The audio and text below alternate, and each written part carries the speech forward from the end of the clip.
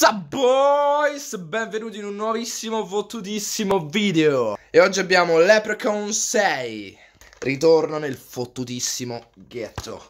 Da non confondere col quinto che è In the Hood.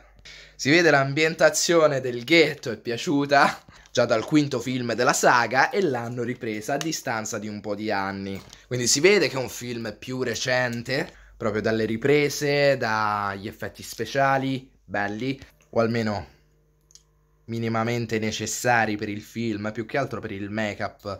Ci sono andati belli tosti, perché c'è un leprechaun figo con un nuovo outfit, nuovamente in mezzo alla strizza per farsi rispettare e per prendere possesso di tutto.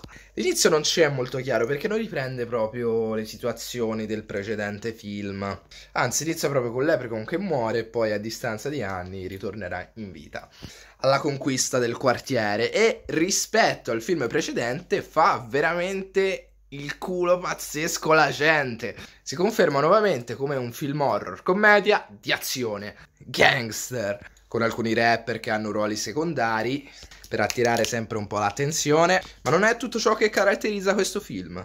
È tenuto in vita da un ritmo bello potente.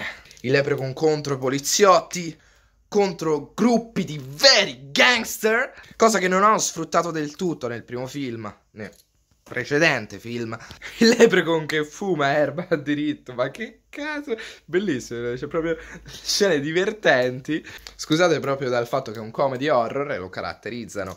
Ma poi ragazzi, in questo film veramente tanto anche in altri film di Leprechaun, ma in questo film sembra che, che non si possa ucciderlo, non fare morire. È un personaggio con i controcazzi. Cioè, nulla lo ferma adesso, nulla, veramente nulla e nessuno. Anche perché i protagonisti sono veramente cazzuti, eh.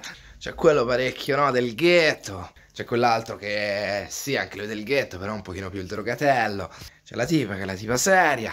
L'amica un po' più pazza, tantissimi personaggi secondari, tantissimi luoghi e situazioni in cui Leprechaun si trova e dove i nostri protagonisti si ritrovano a fronteggiarlo.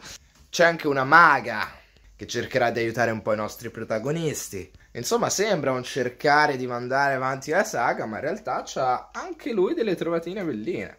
Cioè, non è che se prima vedi il Leprechaun a Las Vegas, poi lo vedi direttamente nello spazio, poi nel ghetto dici hanno esaurito le idee. No, perché poi ti ritorna nel ghetto ed è un film bello, magari a distanza di anni, però c'è un bel Leprechaun, un bel film.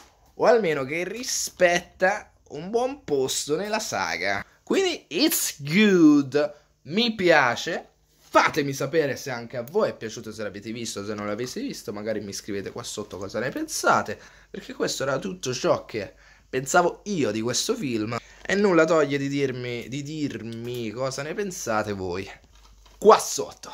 Quindi noi ci becchiamo a un prossimo fottutissimo video. Damn it, bro! E il kill count di questo film ammonta a circa 10 persone. Massimo, massimo 11. Perché è un po' incerto su una. Quindi, alla prossima, boy.